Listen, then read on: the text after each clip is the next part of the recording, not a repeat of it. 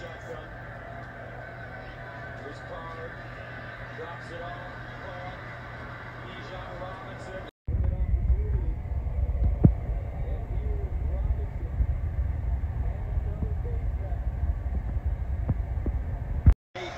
it again. Here's Young. Steps up. Scrambling, trying to get outside. In trouble. Young turns it up and goes down short of the first down marker. Byron Murphy got his 19. 12 seconds left. Robinson, the motion man. Card in the corner again for Sanders. And another flag.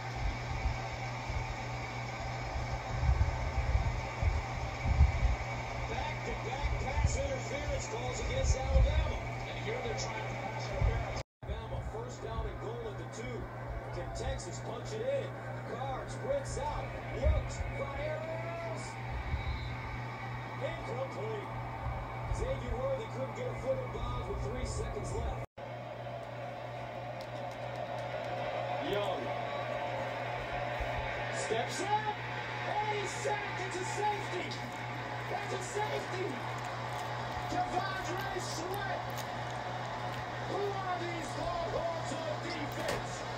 You need another one? Yeah. I'll take a while when I'm finished. This one is perfect. Texas, 627 to go in the third. Takes a 13 to 10 lead over Alabama, the number one team.